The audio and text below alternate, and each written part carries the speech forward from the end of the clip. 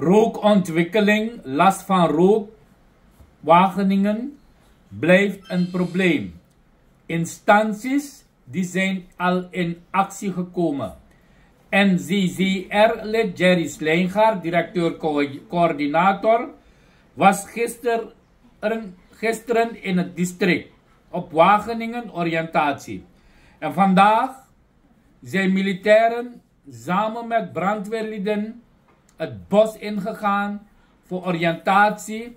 En ze gaan kijken hoe zij dan een plan kunnen beramen om het vuur tegen te gaan. En daarnaast zijn zwaar materieel van uh, ondernemers ook bezig in het gebied.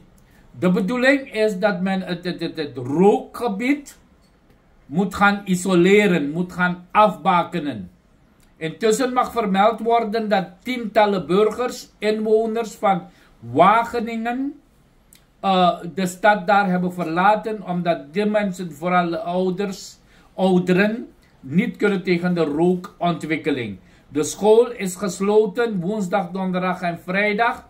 En in dat gebied zijn brandweerlieden samen met leden van Nationaal Leger om het hele gebied af te kammen, waarna gelijk een strategie zal worden uitgestippeld. En intussen zijn ook zwaar materieel bezig het gebied um, te isoleren.